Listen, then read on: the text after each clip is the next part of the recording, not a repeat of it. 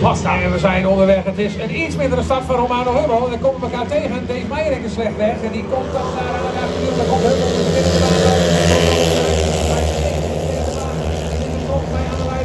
de Arnio. Oh, dat is onmogelijk. Die Arnio denkt ik word gek. Dan is het Yannick de Jong die daar nog mee gaat. Oeh, die rijdt hem daar achteraan. Dat zag je aankomen. Die rijdt hem daar zelf tegen het achterwiel van uh, Tero Arnio, Dave Meijering, Jesse Mustonen. En dan is het uh, Yannick de Jong die. Dat kost een punten bij Yannick de Jong. Die staat hier op het middenterrein. Nummer 21 uitgevallen, maar dan is nog steeds Hummel aan de leiding. Dan zien we Tero Arnio. Dan is het de 20 van uh, Dave Meijering, Jesse Mustonen.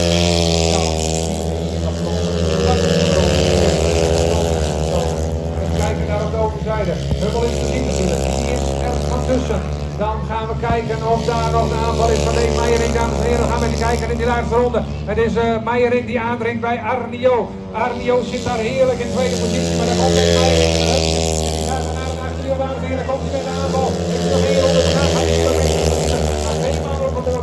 Is Dave Meijering die nog steeds in de tweede, derde positie. En dan gaat hij aandringen, dames en heren. Dan gaat hij de laatste bocht nog een keer voor zitten. Is het Arnio aan de buitenzijde? Ja, ja, ja, ja, ja, ja, ja. Dave Meijering. Oh, die haalt hem op hoor. Hij knikt nog even voor u. Hij pakt hem daar net op